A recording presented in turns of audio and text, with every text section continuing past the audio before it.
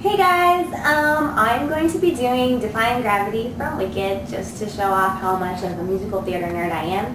I'm going to be doing both Galinda and Elphaba Parks. Um, obviously not together because I can't harmonize for myself, but I'll do the best I can and improvise. So, yeah, here we go. I hope you're happy. I hope you're happy now.